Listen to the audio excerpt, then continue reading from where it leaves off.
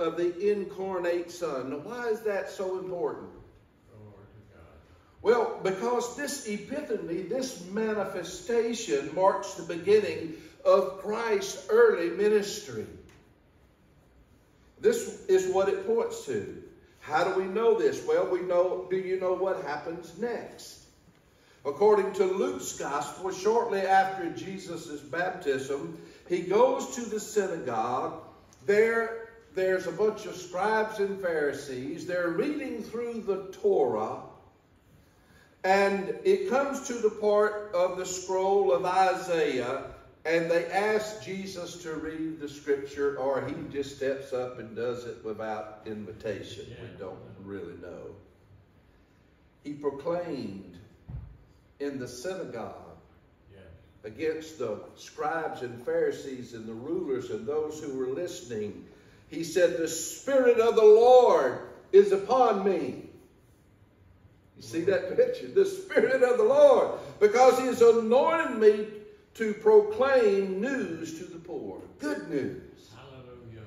What is it? He sent me to proclaim freedom for the prisoners, to recover the sight of the blind, Amen. to set the oppressed free, and to proclaim the year of the Lord's favor. Amen. Jesus began his ministry on earth with the blessing and affirmation of the Father, and with it he brought to us hope. He had come to proclaim the good news. He brought healing, sight to the blind. He brought redemption, freedom from the prisoner. He brought blessings and lives and gifts and love and fulfillment and affirmation and destiny and purpose for all of us here. Amen. We should first note, of course, that Jesus really, and I, I, need to say this, this is the Baptist coming out in me. I invite you to come on Wednesday mornings, a little bit of Catholic or Catholicism comes out in me every now and then. I enjoy it. Uh, but I, I, I simply need to say that Jesus didn't have a need to be baptized. Though he was fully human, sharing in our woes of suffering, he had no sin. He was not born with original sin. He had no sin nature like us. There was no need for him to repent. Uh, yet for our sake, he humbles himself. This is the Baptist part of me. To the outward act of John's baptism in the Jordan River, one which John proclaimed to the people for the, the forgiveness of sins. Uh, and in doing so, in submitting himself to this outward act, Jesus did two things. First, he gave us, who are indeed sinful, an example in which we can follow. Good Baptist definition. Glory. Glory The kingdom of heaven has come near. Turn from your sins, repent, and return to the Lord. That's the message. In submitting to the baptism, Jesus is telling us that John had it right. We need to listen to what he's saying. And secondly, and perhaps more profoundly, by submitting to the act of baptism, Jesus firmly confirmed the nearness of the kingdom of God. But Now, he said, the time has come. The kingdom of God. And in doing so, in submitting to the baptism of John, Jesus firmly plants a flag. Much like the mascot of Florida State. You know his name? Osceola. Yeah. You know the name of his horse? Renegade. How many Florida State fans know that? There you go. And he runs, he comes in on his horse and he plants that flag. Or the, I say that flag, but you know, it's a spear. And I think it's fire, sometimes fire, yeah. It's an amazing thing. Just plan, make a statement. We're here. He does indeed. He does. And that's what Jesus did. He declares that the kingdom of God is now being established on earth. Hallelujah. I love it. It's so good. And with the establishment of the kingdom, Jesus leads the charge out of captivity to sin and out of the kingdom of death, out of the kingdom of darkness, into the kingdom of God's new life chosen in Him. Hallelujah! Amen. Glory. This is the exciting part. It's life changing.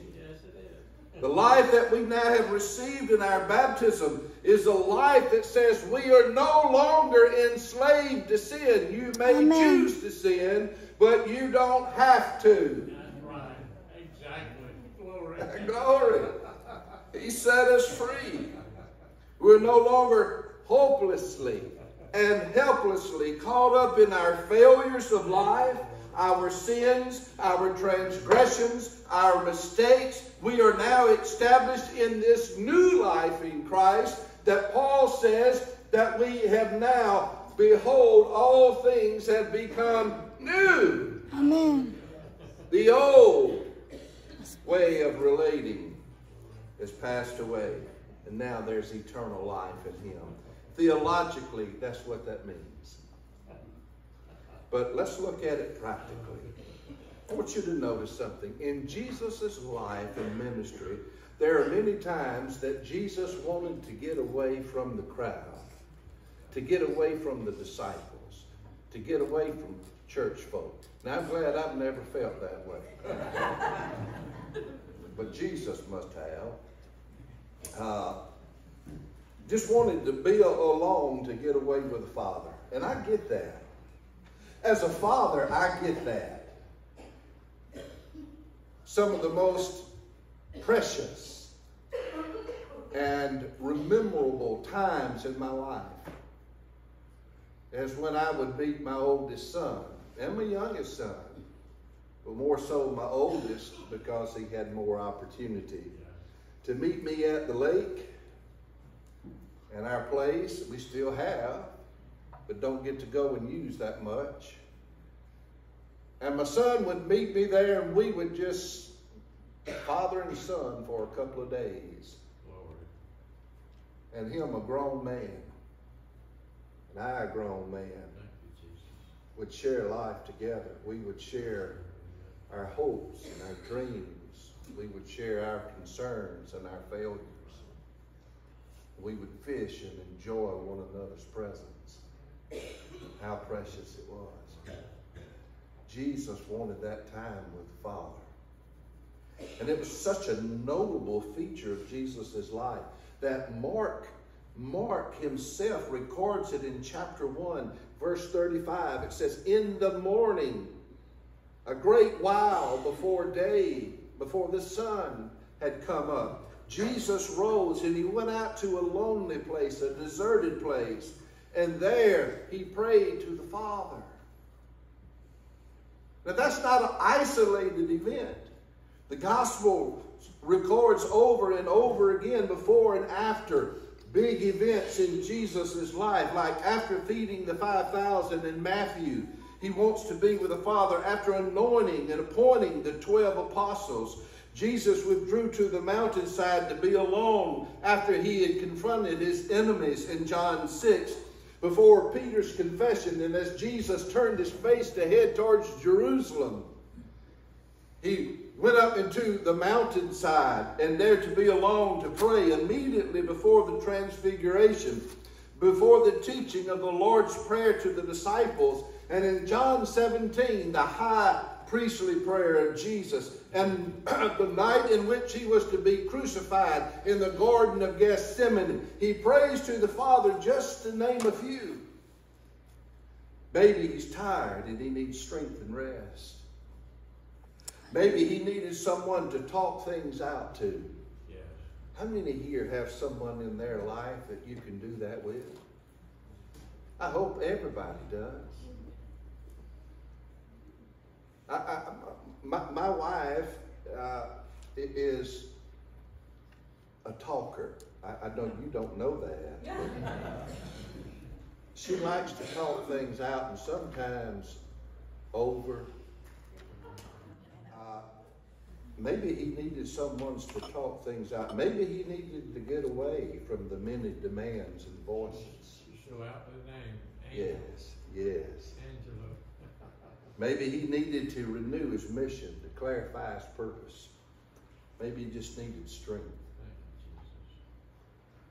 Whatever the reasons, I can't help but to believe that he just wanted to hear his father say one more time, You're my son, and I love you,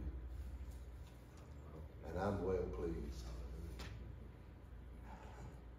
Don't we all want to hear that? When we're tired and confused and we're hurting, when life has beat you down, when energy and strength and health is gone? How good is it to run to the arms of the Heavenly Father and to hear the Father say to you, my son or my daughter, uh-huh. I love you. Lord, I'm broken and I'm hurting and I need help and I'm here, child. I love you. You're my son. You're my daughter. I died for you. That's, precious. Jesus extends the invitation in Matthew 11. He says, Come all unto me, those who are weary and heavy laden. I'll give you rest. We need peace for our soul. Life is hard. Don't we all want to hear voice of God? And you can. You can. You, d- did you know that you can? In John chapter 10, Jesus calls himself the Good Shepherd. And we are his sheep, his children, it says, the sheep of his pasture. And in, our, in, in, in that key verse, Jesus confirms that we can hear his voice. He said, My sheep hear my voice, and they listen. Yes. Love it. They listen to my voice. I know them. And they follow me. Jesus doesn't tell us that we need to dig deeper. He doesn't tell us that we need to study longer. He doesn't suggest that we need to go to church more often. And then we'll be able to uncover the hidden mystery of hearing his voice. He doesn't say that at all. Instead, Jesus lists only one prerequisite for hearing his voice, and that is to be a sheep. As one of his sheep, as a child of God, we can learn to distinguish God's voice from the many others that are clamoring for our attention and our affection. We begin by understanding that we listen and speak to God because He wants to be in a relationship with us. He is our Father and He interacts with us. He loves us. He wants you to love Him. And there's no need to be afraid in the presence of the Father. Amen. All aspects of God's character comes from love because God is love. And I say this in closing. God will never be rude or selfish or hateful. God will never speak to us in a manner that never, never will hurt us, but affirm us in a loving way. Instead, what we'll hear from the voice of God Instead, his voice will be patient. His voice will be 1 Corinthians 13. It will be kind. It won't be bragging or proudful or rude or self seeking. Thank God it won't be easily angered, but it'll be merciful, keeping no records of wrongs. You may keep them in your head. God will never keep them in his. Not delighting in evil, but rejoicing with truth. That is why I believe Jesus wanted to hear the voice of God over and over Amen. and over again. Hmm. And so today I want to ask you to do something before you go to sleep. Everyone here. Everyone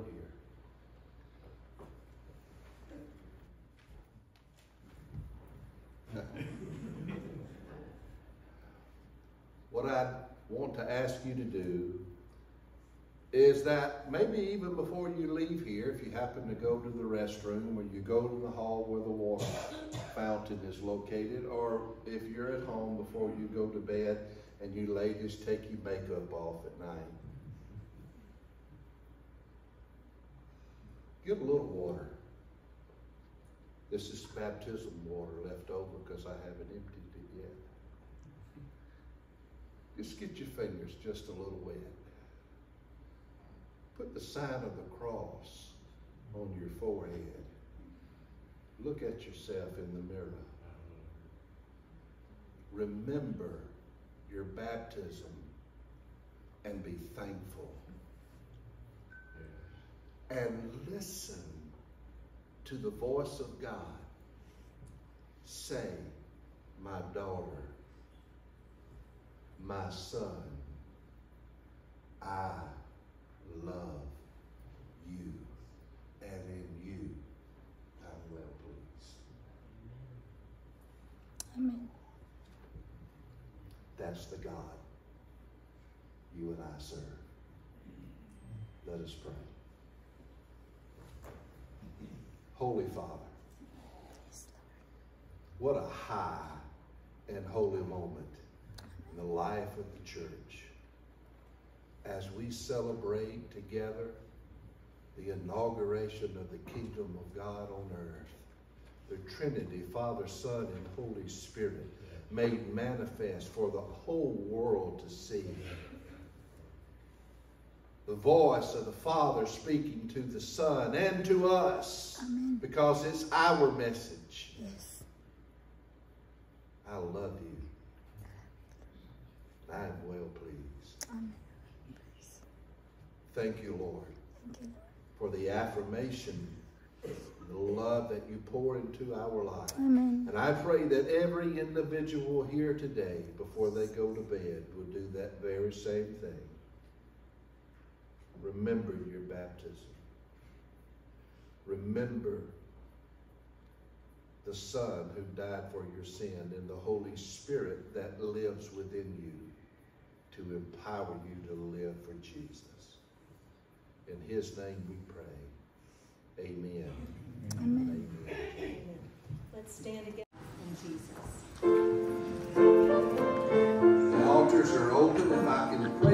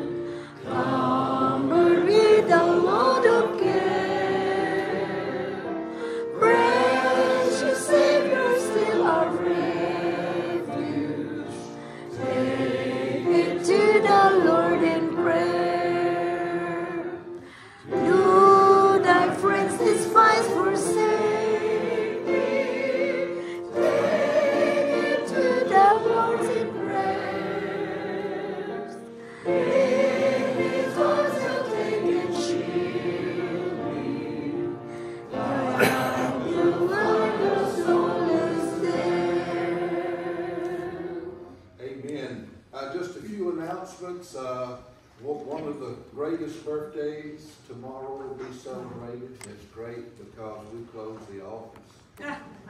Uh, it's really a great day. Martin Luther King we celebrate.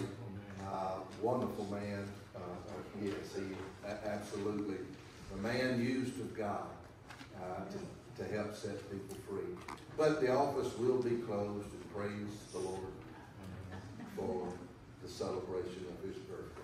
So just wanted to let you know. Um, uh, also, I think that's that there's several things that are coming up. Dates in the bulletin. Take your bulletin with you. Put it on your calendar for sure. And uh, yeah, uh, if we don't have any other things, Prayer breakfast Saturday, nine o'clock, prayer breakfast for the ladies uh, Saturday. Go in peace. The peace of God be with you. You are dismissed.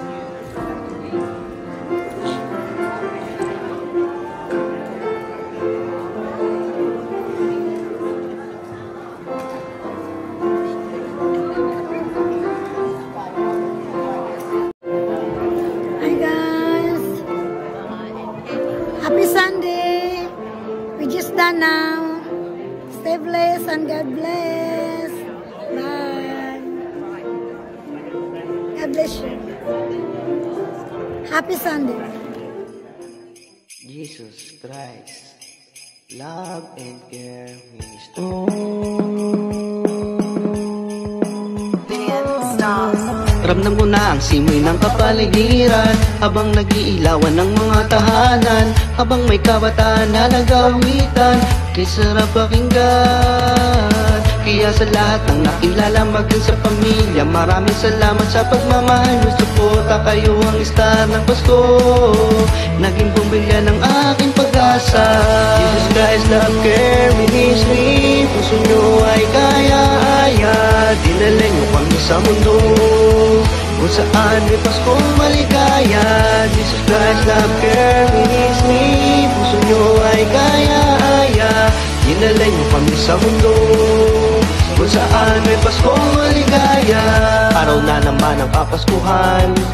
Papasukin ang saya sa tahanan habang ang mga ilaw ay kumukutitap Kay Heso Kristo sa'yo'y mahagilap Tara na, tayo nang magsaya sabi ay nagiging kakaiba.